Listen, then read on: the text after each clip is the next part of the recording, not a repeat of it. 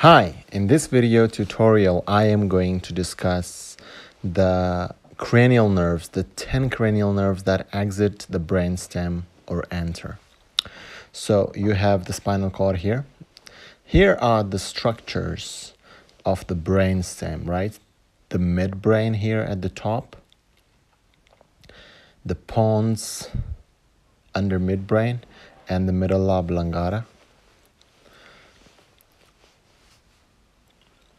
So, uh, if we draw the first cranial nerve, it will exit the front of the midbrain, the third cranial nerve, okay? And this is the fourth cranial nerve that goes back and exit from the backside of the midbrain and then comes again from an exit from the front. So the this is your fifth cranial nerve which is also called the trigeminal nerve since it has three branches or it divides into three branches. Here if I draw the inferior pontine sulcus and then I draw uh, divide the medulla into uh, the pyramids and olive okay and here is your sixth cranial nerve that emerges here your seventh cranial nerve here your eighth cranial nerve.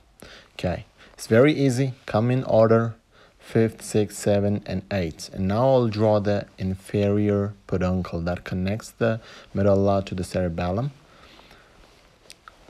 And here you will have your ninth cranial nerve, the 10th cranial nerve, and the 11th cranial nerve with its spinal branch. It has two branches, one from the spinal cord, one from the brainstem. And here is your 12th cranial nerve.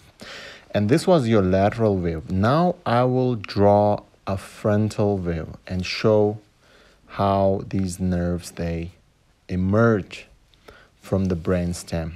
The two nerves that I haven't discussed, olfactory and the optic, they do not emerge from the brainstem.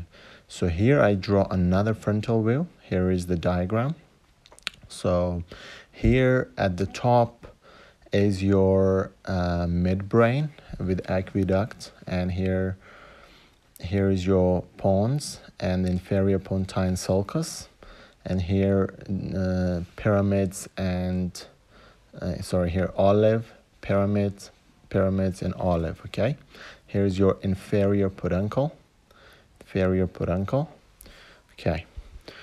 So the first nerve that emerges, it will uh, exit from the interpeduncular uh, fossa, right? The interpeduncular fossa. Okay. The fourth cranial nerve will go back and exit and come all the way back here to the front, the fourth cranial nerve. Okay. This is how the fourth cranial nerve comes out. And we have the fifth cranial nerve. It will emerge from the pons okay? It has three branches. The fifth cranial nerve which is also called the trigeminal.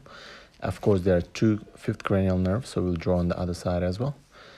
And then you have your uh, pyramids. From pyramids you have the sixth cranial nerve uh, the sixth on the other side, the seventh, the seventh cranial nerves, and the eighth cranial nerve, okay? So it's very easy if you remember in this pattern. Okay, the ninth cranial nerve, your 10th cranial nerve, and 11th cranial from the brainstem and spinal cord, two branches, remember? And the 12th cranial nerve, of course, between pyramids and olive, as it emerges from there. So here's your 12 cranial nerve again. Uh, on the other side, 9 cranial nerve, 10 cranial nerve, and 11 cranial two branches. Okay. Thank you for watching. I hope you liked it. Bye.